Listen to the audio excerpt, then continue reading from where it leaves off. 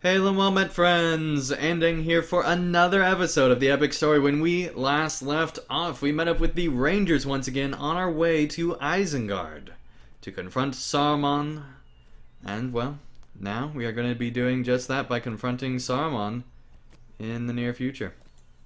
Let's go ahead and talk to Radanir. It seems you found Aragorn before we did, Staftang. Perhaps we should have gone with you. Perhaps. It was not a long goodbye after all, Staftang. Though the intervening days have been eventful. I think Halbarad keenly felt the burden of his duty after you left us, for he was not sure how best to proceed. But it seems he chose aright, for we have found Aragorn as the words of Galadriel bade us. The sons of Elrond bear message for him from their father, and Halbarad carries the gift of Arwen. I trust that Aragorn will know what to do with each of these gifts. This is truly an unexpected encounter, Staftang. I'm glad to see you are well, and in the company of Aragorn, no less. Our errand has not ended, though its first goal be now accomplished. Now we must lend what aid we can to Aragorn. Is it true you take the road to Isengard? Whatever other objective Aragorn has with Saruman, we must add this one as well. The rescue of Lothrandir, my kinsman, if he yet lives. Yes. Forgot about that. Halbarad has given me much to think about, Staftang. We have more reasons to converse with Saruman than I believed. I feel confident that we can accomplish anything, Staftang, now that my kinsmen are here. Can it be that the tides turn in our favor this day? That is a good question.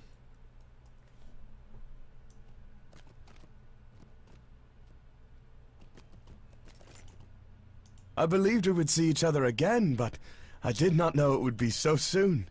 Sending you from us was not an easy decision, but I knew Theodred had need of your aid. What sadness that he could not be saved from that fate. But perhaps that too contributed to the resolve of the Eorlingas. The Grey Company has done what it set out to do. We have ridden to our chieftain in Rohan, and it seems we have come in time after all. Some of our number were lost on this way, but those of us that remain will do everything in our power to ensure that Aragorn can fulfill his destiny. I'm glad to see you again, Staftang. I have much to think about and little time in which to do so. This is an unexpected joy, my friend. Had I known they were journeying to find me. Aragorn looks at you wryly. When you spoke to me of the Dunedain, I did not suspect you had travelled with them in recent days, Staftang. I did not think I would have changed my course had I known. But perhaps it is the power of hindsight. Perhaps it is the wisdom of Elrond behind your silence my friend. He is never quick to volunteer information, which makes the word of his sons even more curious. I have much to think about, and little time in which to do so. I am most curious to see what we will find in Isengard. I spoke briefly with Halbarad, and if I had business within Isengard before now, I count it double. We must find if Lothrandir still lives within the ring, Staftang. Let Gandalf speak with Saruman for weeks, if that is what his desire. My thoughts are of my kinsman. I have not seen him for many years. But Lothrandir has been a friend for longer than that, and I will not abandon him. Let us ride the road to Isengard. I'm most curious to see what it is we will find. Alright, right along the road north. North. And there is Isengard. Sight we've not befell since, what, book four? It's been a long time. Now we're here once again in book 14. Now entering Nan Curunír. A curious stillness covers the land, and pools of water stand near the road. Hmm.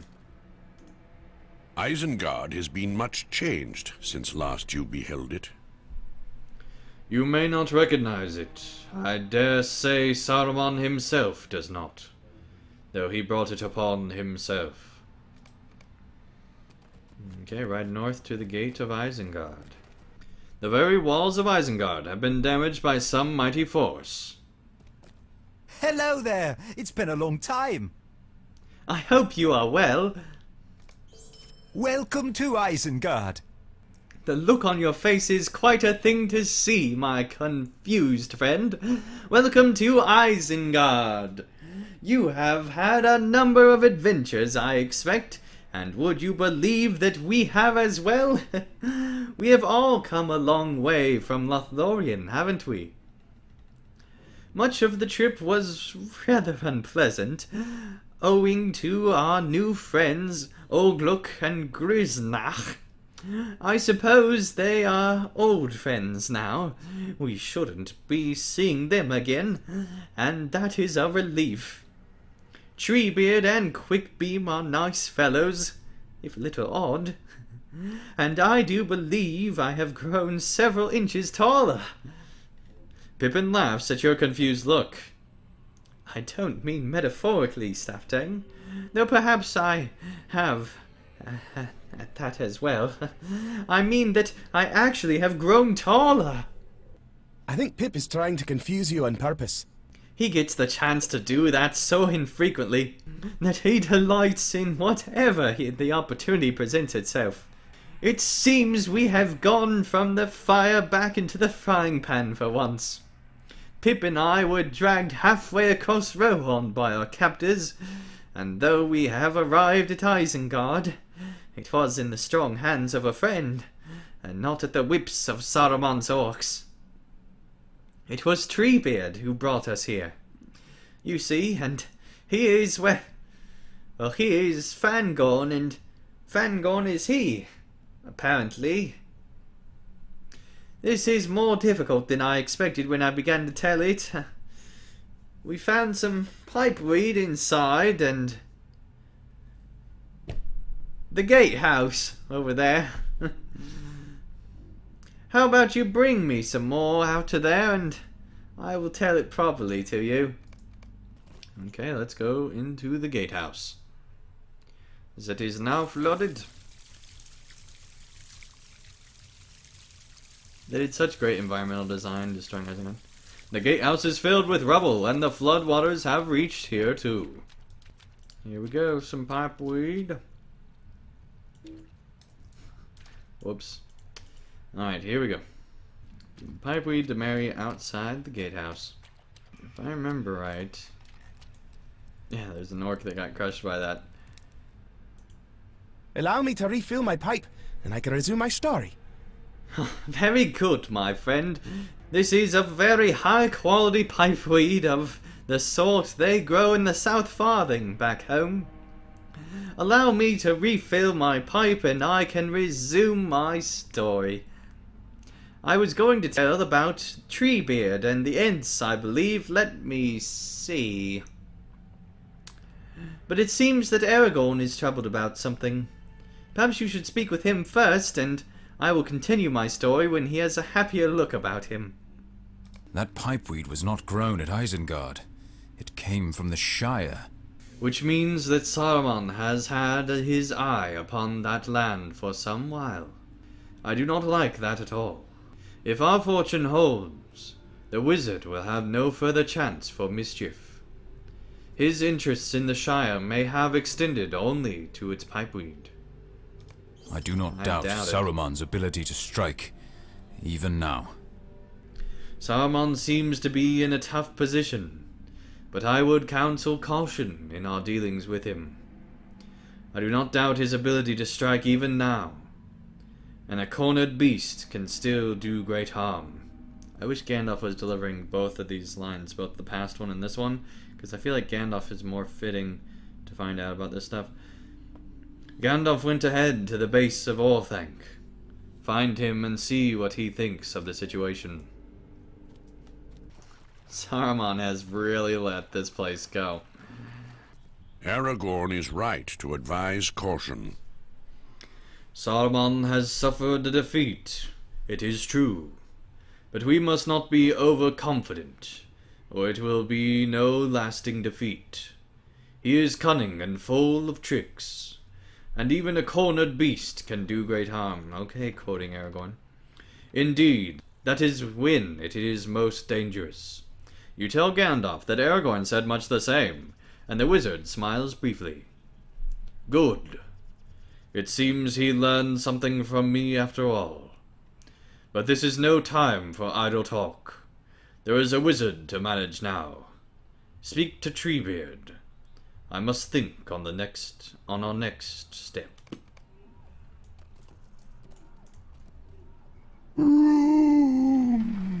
That's so bad. So bad.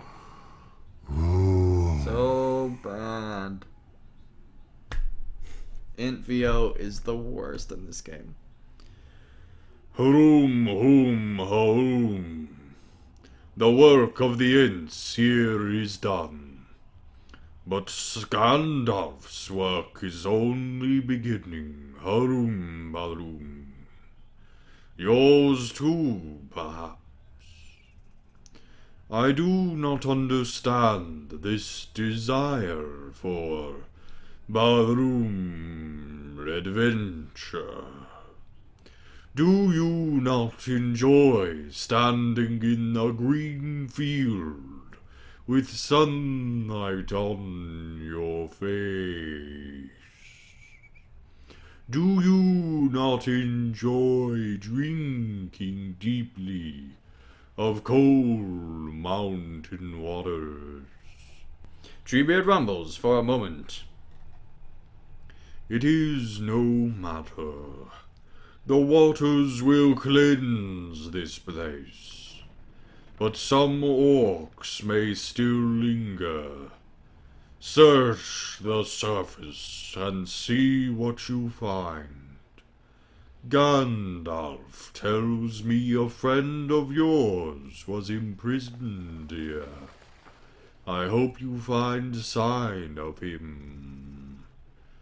We Ents allow a number of Dunlendings to leave in peace, but we saw no other friendly folk. Alright, well, I think that that does do it for this episode. Thank you, everyone, so much for watching another episode of The Epic Story. We are getting super close to the end here. Hopefully, in the next couple episodes, but I'm really enjoying it right now while we're going through it. Thank you, everyone, so much for watching, and I'll see you again real soon for another episode of The Epic Story.